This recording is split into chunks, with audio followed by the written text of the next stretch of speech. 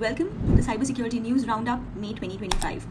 Today we're going to talk about five news articles which rocked the cybersecurity industry in May 2025. The first news which we have for today is coming from the US, where a major Russian cybercrime indictment has taken place, where 16 Russian nationals have been indicted by the US in collaboration with Danabot, which is basically a sophisticated malware operation which is working globally for cybercrime and espionage. And there are around 300,000 infected systems which have been used in attacks against Ukraine's defense institutions.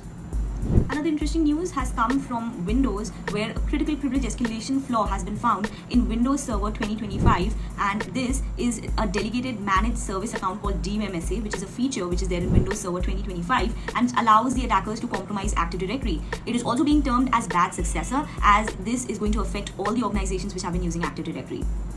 Apple AirPlay systems have also been identified with a few vulnerabilities. There are a total of 23 vulnerabilities which have been identified in Apple AirPlay and they're being termed as AirBorne, which means that uh, hackers could hijack devices which are connected to the same Wi-Fi network, posing a significant risk to the users. Another news which has been doing rounds in May is regarding the TracFone settlement agreement, which in which they have agreed for a settlement of $53,000 to each of the Americans who were uh, whose data was a part of a breach which happened in 2021 and led to a significant breach of consumer data along with some specific PII information.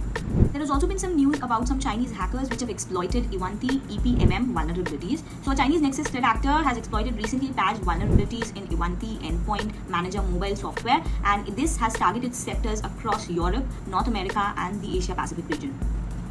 Also, a recent report by Cisco has revealed that only 7% of Indian companies are shielded against cybersecurity attacks, especially those which are driven by AI. Now, this highlights a significant risk in India's cybersecurity landscape. For more such content, like, share, and subscribe.